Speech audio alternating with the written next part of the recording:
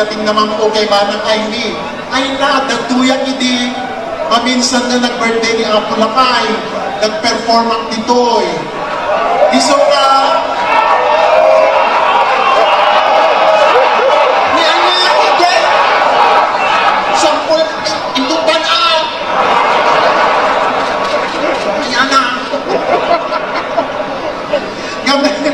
hindi, nakita ko, nakita ko ang pamilya Marcos kung gaano po sila ka down to earth.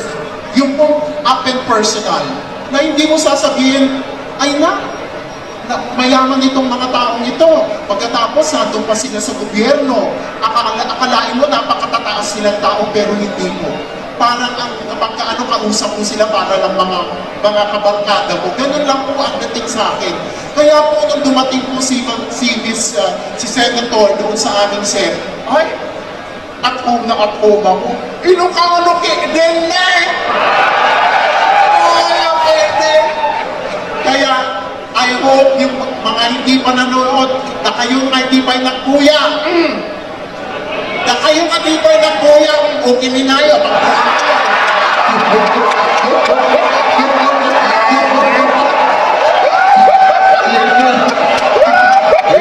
Nanay at tatay ko po ikinasal, ninong at ninang po nila sa kasal.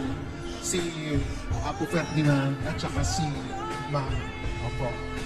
Ngayon po, hindi natin maitatanggi na ang mga parents ko po ay loyalista. Dahil bukod sa Ilocano kami, ganun nga ang relationship. Ngayon pagdating po sa akin, bata pa lang ako, talagang very, very politically aware na ako. At alam ko po kung ano yung nangyayari dito sa ating bansa. Kaya po, noong nangyayari yung what, what happened before the 1986 revolution, masamang masama po talaga ang loob ko. Masayang masaya ako ngayon na napasama po ako dito na mag, maghahayag ng other side because for the past 30 plus years, hindi po sila narinig. Pagkakataon na po ito and this is justice. Thank you. Nalala lang ako sa palabas. Karapat dapat talaga siyang panoorin. Hindi tayo makakabalik. makakabalik tayo. Makakabalik tayo.